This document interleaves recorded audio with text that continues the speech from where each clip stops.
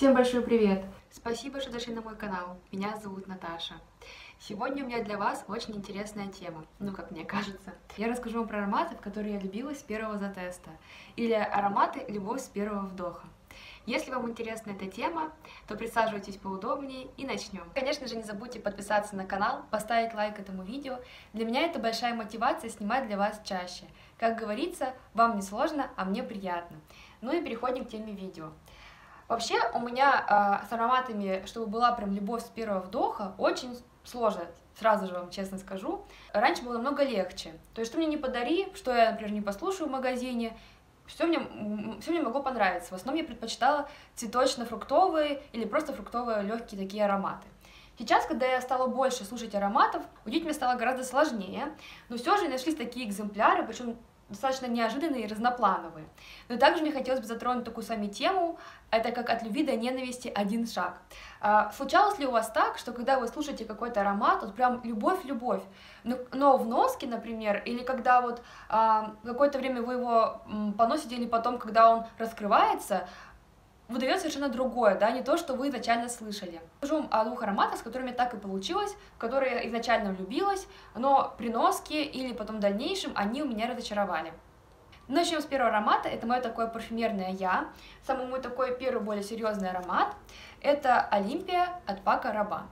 Да, казалось бы, Олимпия, но так получилось, когда я ее вдохнула, я не смогла просто устоять.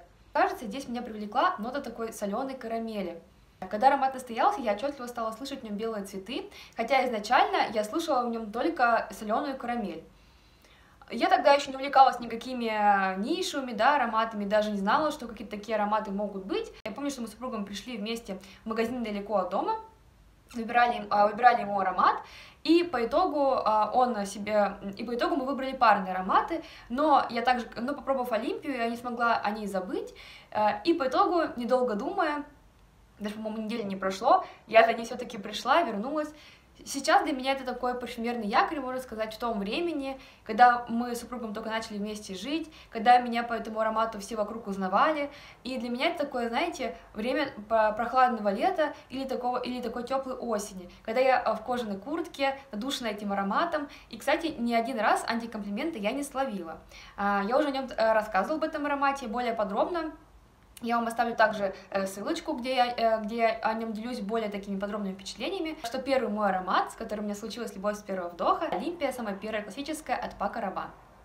Все вы знаете, как я люблю бренд Tom Ford, но любовь моя с ним случилась не сразу. Вообще со всеми ароматами у меня достаточно такой был долгий путь к ним, да, то есть когда я их слушала, э, вспоминала э, или разнашивала, то есть у меня с ними любовь случилась не сразу. Но все-таки два аромата таких э, есть, которыми прям у меня любовь-любовь, но, э, к сожалению, у меня есть только в наличии один, потому что второй, ну, прям просто каких-то немысленных денег стоит. А, и все же, а, я говорю с вами об аромате Tom Ford Вилетовая орхидея. А, я уже как-то тоже о нем делилась а, своими впечатлениями. Со временем он, конечно же, поменялся. Я раньше помню, что я говорила, что я сравнивала его с Ваниль Фаталь. Потому что когда Ваниль Фаталь не отстоялась, они реально были очень похожи. Своей какой-то алкогольностью и замшевостью. Сейчас же аромат настоялся, я в нем отчетливо стала слышать именно такие э, белые густые цветы, да, то есть как будто, знаете, не мед отдельно добавлен в аромат, потому что здесь заявлен мед, замша, ром, а, а как будто именно вот так же ром, а, также тонкая такая замша приятная, такая шероховатая, и уже как будто добавили сверху именно белых цветов, медовых, то есть именно вот эта вот пыльца, медо, э, пыльца медовая слышится. Аромат очень такой густой, насыщенный, но он стал больше, но в нем стало больше сладости. Не сказать, что это меня как-то сильно отталкивает, потому что, как вы знаете, я люблю тоже сладкие ароматы, но он как-то стал немножко, не то что как-то более дешево, да, более как-то проще звучать, скажем так. Потому что когда он только ко мне приехал, я помню, я его послушала, и это была такая, знаете, такая яркая замша, с такой, э, с такой прям э, пропиткой алкогольной, как будто вот прям взяли замшу и залили ее ромом. Это был настолько богатый, такой чувственный аромат. Я помню, когда я его нанесла, вот только он ко мне приехал, он не отстоялся ничего, я нанесла его, боже, я просто улетела. Это прям была такая любовь-любовь. И тогда мне и мама его оценила, и я его оценила. Конечно, стойкость была не очень, понятное дело, потому что аромат только с дороги, да, он долгое время, э, э, долгое он время э, ехал до меня. Аромат был э, близко к коже. Сейчас эти характеристики в плане то, что он шлейфовый, не шлейфовый, не поменялись. Он также близко к коже, но он очень-очень стойкий. Я не могу сказать, что прям любовь моя к нему прошла, сейчас я ношу его немного реже, но вот именно вот это, за счет этой сладости аромат немного поменялся, да, немножко изменился, но любовь моя все к нему уже еще есть, и он у меня стоит и просто ждет своего часа. Для меня это тоже какая-то такая, знаете, либо, либо больше такая теплая осень, либо теплая весна, сейчас как раз-таки у нас все теплее и теплее, и я думаю, что я скоро его достану, начну его носить. Это Том Форд, Вилетовая орхидея, самая первая, не Люмье. Скажу вам про два аромата, с которыми случилось от любви до ненависти. Я хотела это оставить на конец видео, но захотелось мне вот так вот, потому что передо мной здесь стоит один аромат, которым я нашла один аромат, чем заменить. В общем, обо всем по порядку. Итак, первый аромат, сейчас у меня его нет, и ну и понятное дело, что у меня его не будет. Все вы знаете, как у меня много ароматов от Нарцисса Родригес. И э, казалось бы, что, ну, у них вроде бы и база одинаковая, да, у кирпичиков одна, у кубиков другая, и мне нравится и та, и та, но получилось так, что с одним ароматом я вообще совсем никак не подружилась. Сейчас я вам говорю об аромате Pure Mask. А сейчас вышла какая-то новая версия, да, этого аромата, я, я ее не слушала, да и как-то желание, честно, у меня слушать ее не возникает. Когда я послушала ее в магазине, мы как раз-таки выбирали мне подарок на день рождения вместе с мужем, он послушал, сказал, вау, как классно, необычно, потому что до этого, когда мы слушали только такие, знаете, ну, типично люксовый аромат, там, фруктовенькие, такие, как компотные, да, э, это просто что было вау. Я тоже послушала, я даже не могла понять, там, ну, то есть, э, что я вам о нем рассказывала, если найду видео, также вам ссылку оставлю, какие, какими впечатлениями я о нем делилась.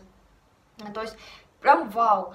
То есть, какой-то вот этот мускус, да, какая-то свежесть, э, то есть и, и цветочность в нем, то есть все это так необычно, и не сказать, что прям порошково звучало, но просто такой аромат э, свежести, какого-то вот прям воздуха, именно в аромате очень много было воздуха.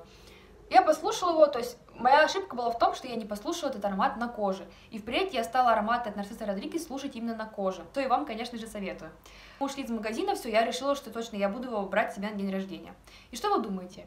Когда аромат был приобретен, я также, то есть, вау-вау, классно-классно вроде бы, я даже его поносить толком не успела, потому что как-то раз я захотелось на ночь глядя, как говорится, да, перебирая свои флакончики, расплить его себе на кожу, и, о ужас, на мне он просто такими кислыми цветами запах, то есть я не услышала этого воздуха в аромате, даже, бог с ним, была бы там в нем даже мыльность, да, или какие-то мыльные цветы, именно вот прям кислятина, то есть не кислинка, а прям вот сплошная одна кислятина с цветами, мне до тошноты стало от него плохо, и я точно знала, что я с ним распрощаюсь. Нанесла на супруга, у него горячая кожа, аромат вообще стал пахнуть платками, извините меня, да, кошачьими. Вот, как есть. Советую вам аромат от Нарцисса Родригес наносить именно на кожу, потому что вот так вот с нами получилось. Но когда я э, дала сестре его поносить, она перед тем, как мы с ней пошли гулять, на себя нанесла, и он очень классно не шлифил. Я услышала и эти Э, белые цветы классные, да, и небольшой как-то вот, и вроде бы как какой-то такой мыльный мускус, и свежесть, то есть все-все-все это услышала, был прохладный такой приятный ветер, так что такая с ним история. А второй аромат, самый такой хайп, вы можете сказать, самый такой популярный аромат последнего да, года, э, это Atar Collection Haltat Night. Первый раз я послушала также Литуаль, все тестеры уже были пустые, флакончики еще немного совсем было, я решила нанести, боже, я улетела. Я услышала и эту кальянную вишню, и дымность, а, и корицу, и просто я так улетела, я супругу сказала, мне он точно нужен. Я тоже знала, что Халпат Найт не будет как-то переснять, да, его как-то не будет переформулировать. И я была, э, я была больше чем уверена, что я его в ближайшее время закажу. И потом так получилось, что аромат начали переформулировать, дали, снимали его, в России его тяжело очень было найти, ценники просто небес взлетели. Я захотела заказать такой, можно сказать, аналог на него от марки Брикорд, называется парфюм Фара. То есть там вместо вишни именно сухофрукты, также корица. Я уже о нем говорила, что у меня такие неоднозначные э, о нем нехорошие, можно сказать, даже впечатления, потому что была такая нехорошая ситуация, я была в этом аромате, и вроде бы, как можно сказать, ну, я стараюсь не корить какие-то ароматы, да, не связать какие-то плохие такие воспоминания или ситуации с ароматом, но так вот получилось.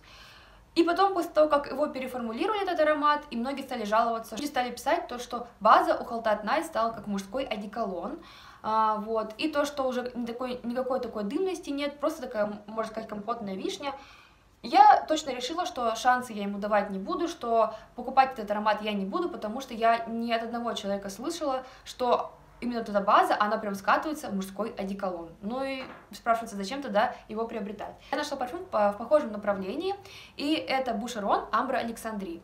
А, здесь а, многие слышат вишню, потому что а, здесь амбра, а, табак, да, возможно, сухофрукты, и это все дает именно кому-то аромат а, вишневой косточки, да, или такой вяленой вишни.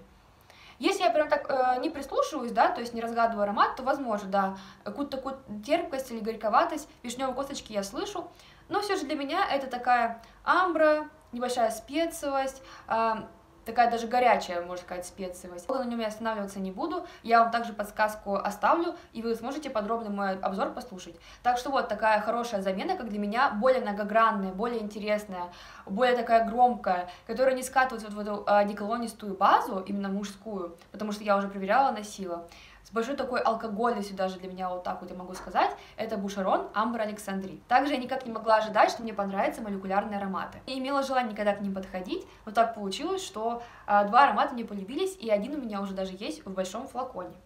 И э, аромат, который я уже приобрела э, в полном объеме, это Juliette Хазаган к сожалению, отсвечивают, отсвечивают, потому что белый флакончик. Я думаю, все уже с ним знакомы. Это Juliette Хазаган, нота парфюм. А у меня не супердоз, обычный нота парфюм. Мне также советовали к супердоз подойти, но как-то, знаете, что уже попробовала, да, что вот есть, а, а, отношу и, возможно, потом попробую. Это для меня аромат самостоящей нежности какой-то даже э, девочковости, я бы сказала, да, такой вот, я не знаю, по-хорошему, он, он такой по-хорошему наивный, такой по-хорошему приятный очень такой достаточно сложный аромат, да, в плане восприятия. Но что, в нем, но что я в нем отчетливо слышу, это тут какую-то нежность, чистоту, очень такой он приятный, спокойный, навязчивый. Как-то я уже рассказывала о нем, что я слышу в нем именно какую-то такую базу, какого-то такого сладкого аромата. Да, может быть, чуть-чуть сейчас, э, сейчас именно в полном флаконе я слышу в нем такую сладинку, потому что я слушала аромат от Ливанти, который мне присылала Олечка. А флаконе это маленько другое. Мне кажется, ему все-таки надо маленько отстояться, потому что немножко спиртовые ноты я в нем все-таки ощущаю. И нравится тем, что он и, э, пахнет, но непонятно, чем он пахнет. Просто как будто реально аромат э, вашей второй кожи, но более такой улучшенный, более такой ухоженный, холеный. Вот, это э, Juliette Хазаган, нота парфюм, самый э, первый, самая обычная версия.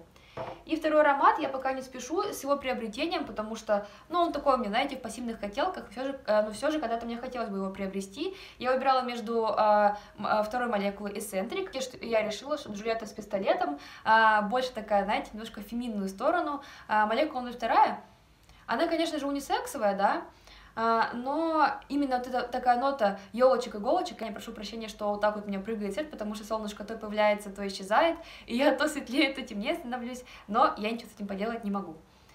А, вот, вернусь к аромату. Меня тоже он привлекает, знаете, какая-то вот в нем есть такая манкая нота. Все-таки думаю, что такие молекулярные ноты все-таки не заставляют постоянно этот аромат слушать и слушать. И, конечно же, что меня привлекло, это такая интересная нота ириса, которая пахнет такой вареной морковкой ну или свежей морковкой, сладкой. На морковка это уходит, и аромат становится такой прям э, сладковато, какой-то такой нежный, притягательный. Добавляются какие-то в нем елочки, иголочки, как я говорю, да, какая-то такая еловость небольшая но все равно этот морковный такой ирис, он все равно ощущается.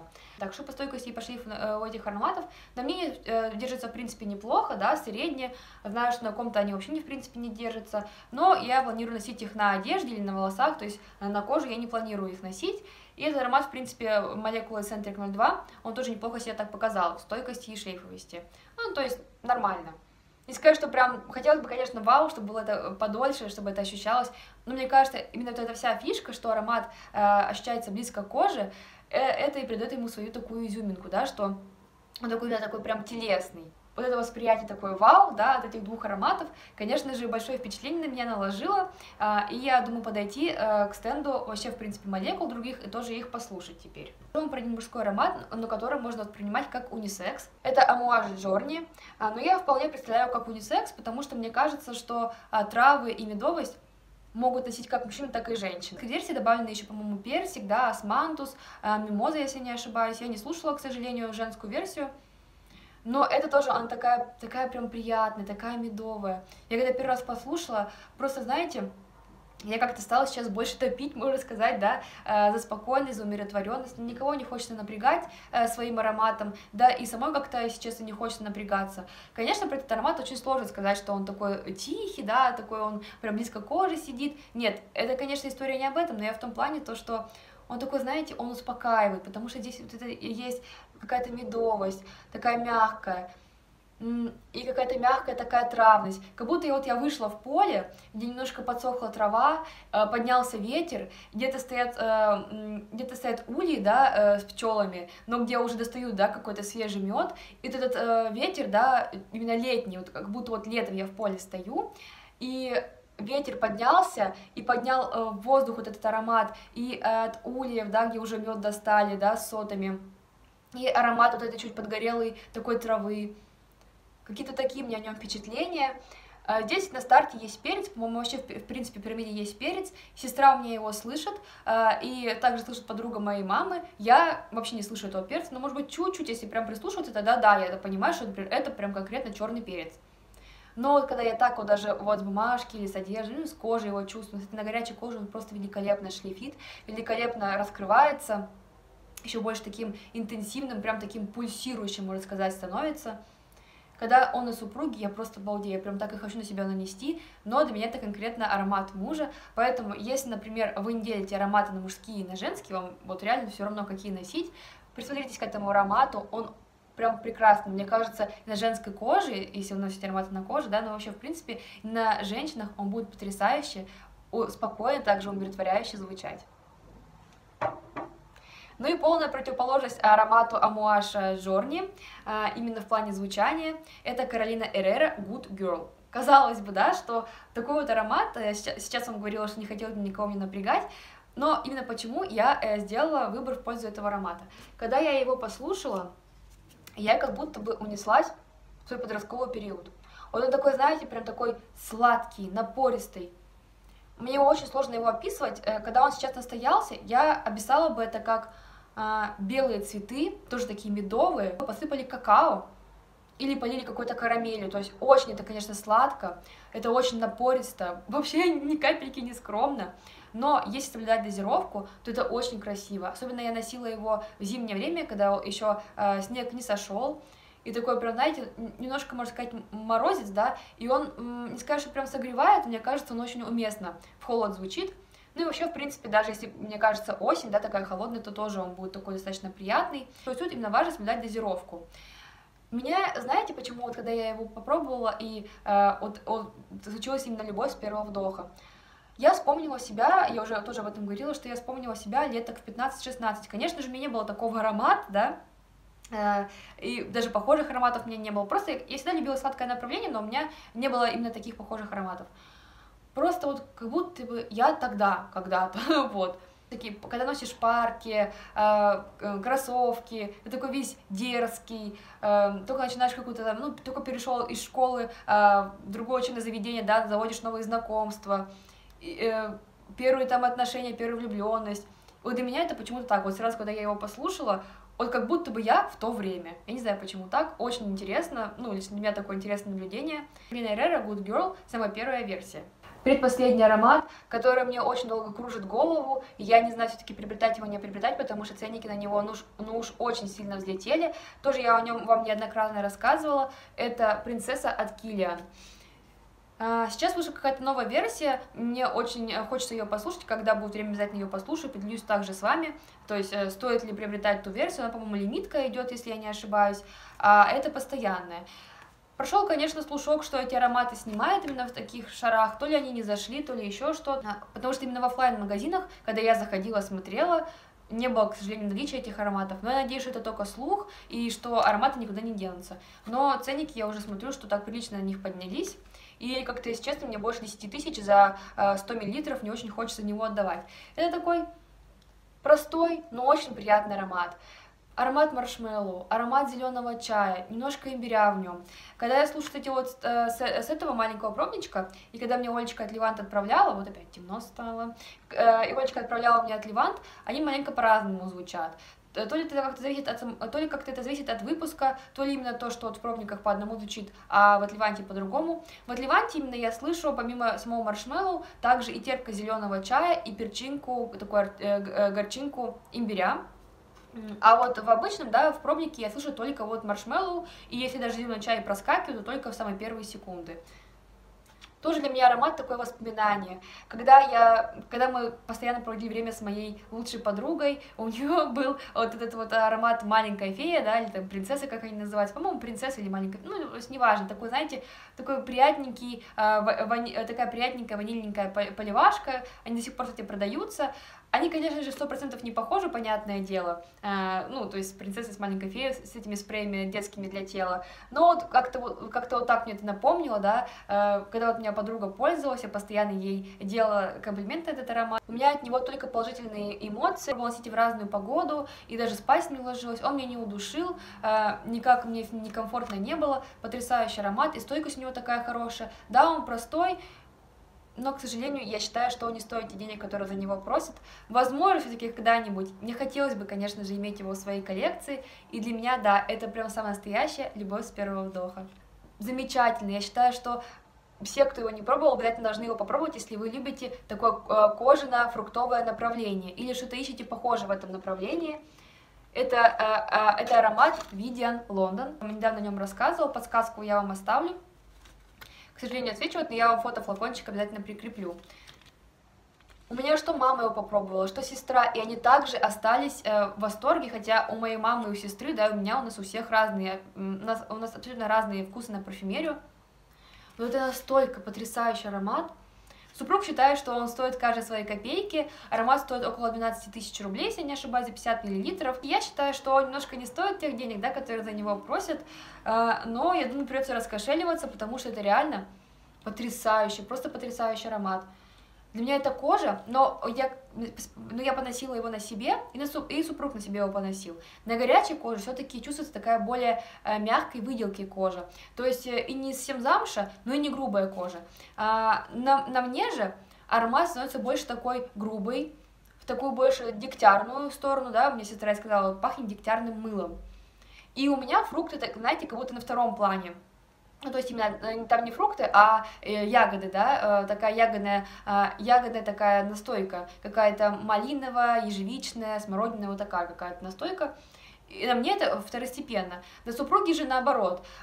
Все в нем так сбалансировано, на нем так сбалансированно звучит. Мягкой выделки кожи вместе с такой ягодной такой настойкой, где больше солирует даже не малина, а какая-то как ежевика или какая-то смородина, возможно, даже какая-то и клубника, то есть какая-то вот ягодность, кислинка такая, ягод, э, такая ягодная кислинка, но не отчетливо прям, что малиной пахнет. Потрясающий, очень стойкий, очень шлейфовый. И первая очередная хотелка сейчас э, в пар в гардероб супру, э, супруга, ну не только супруга, да, но и я хотела бы тоже его поносить. Это э, вот Vidian London. И кто бы ни говорил, что он больше мужскую сторону, возможно, да, есть э, и, и пишут о нем, что он, конечно, больше именно в такую мужскую, именно база у него больше такая мужская, но все равно я считаю, что кожный такой, э, что такой кожный ягодный аромат могут носить и женщины. Думала, что буду рассказывать про последний аромат, но забыла просто самый главный, самую мою любовную любовь, которую, когда я услышала, просто больше я без нее жить не хотела. Это арабеск Glory Mask. В предыдущем видео подробно о нем рассказала, даже сделала, э, даже сделала вам э, целое видео по бренду арабеск. Обязательно заходите, посмотрите, где делюсь э, впечатлениями об этом аромате, не только, в первыми, э, не только первыми впечатлениями, но вообще, в принципе, э, как этот аромат в носке. Сейчас мне хотелось бы сказать, что это просто настолько такая любовная любовь, я его просто обожаю. Для меня здесь и фрукты, и какая-то сливочность, и цветочность. Э, никакой розы заявленной, которая есть в пирамиде, я абсолютно не слышу. Он очень такой напористый, но и нежный, и мягкий, и одновременно и дерзкий. Очень красивый. Когда я его попробовала в первый раз в магазине, я уже вам рассказывала, да, это, наверное, 10 раз эту точную историю рассказывала, что я ездила по городу не в один магазин, чтобы еще раз его послушать, потому что э, так попалось, что я была в разные дни в разных точках города, и там, где был ритуаль, мне хотелось бы зайти еще раз обновить свои впечатления, нужен он мне точно или нет, потому что от Леванта, к сожалению, где бы заказать нигде не было, то есть только сразу в полном флаконе. И я просто объездила практически весь город, чтобы его послушать. И я уехала с этим ароматом на ватном диске. И просто я мечтала, мечтала, наконец-то он у меня. Потрясающий аромат. Обязательно рекомендую вам к нему присмотреться, если вы любите такое, если вы любите или ищете что-то что похожее на, э, в таком направлении. Но он ни на что не похож. Я не могу вспомнить ни один аромат, который был бы на него похож. Так что вот, моя любовная любовь рассказываю о нем в самом последнем, да, в самую последнюю очередь, но он стоит у меня сейчас на первом месте. Это мое такое сейчас парфюмерное я, которое я изначально, когда послушала, влюбилась. Это, это марка Арабеск, парфюм называется Glory Mask. Я рассказала вам про все ароматы, с которыми мне случилась любовь с первого вдоха. Пожалуйста, поделитесь своими ароматами, с которыми у вас так получилось, да. Также поделитесь своими ароматами, если такие у вас есть, от которыми случилось, э, которыми у вас получилось от любви до ненависти, которые вы изначально послушали, думали, все, вау, это точно мое, но, при, э, но в носке случилось что-то, э, но в носке случилось что-то не то, да, э, что аромат я как-то иначе показал. Я говорю вам огромное спасибо, что досмотрели до конца. Мне очень было приятно провести с вами время. Не теряйте меня. В скором времени буду выпускать также больше видео на разные тематики. Еще раз говорю большое спасибо за поддержку. Давайте подписываться на канал, поставить э, лайк этому видео, ну и другим также видео. Для меня это очень важно. Ну, до новых скорых встреч и всем пока!